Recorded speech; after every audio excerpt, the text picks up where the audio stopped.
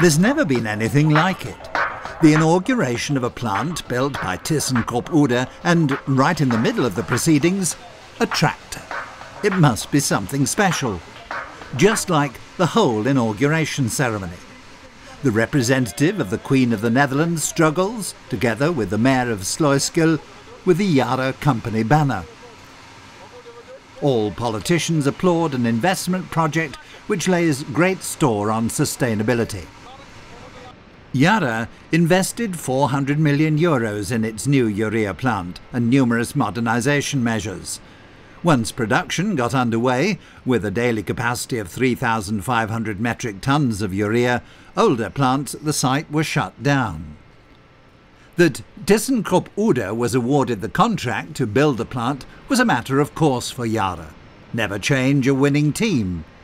The firm also has an interest in the Qafco Fertilizer Company and has first-hand knowledge of the quality of the urea plant that ThyssenKrupp Uhde built in Qatar.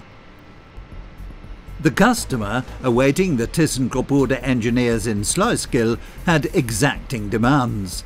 The plant fulfills not only the latest environmental standards, for the most unlikely operational malfunctions, diverse collecting systems ensure that no hazardous substances can escape into the surrounding area.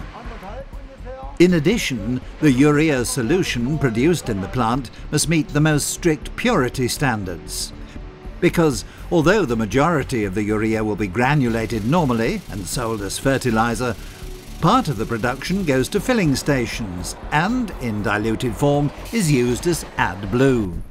AdBlue is a technology which significantly reduces NOx emissions from large diesel engines, while at the same time increasing engine performance.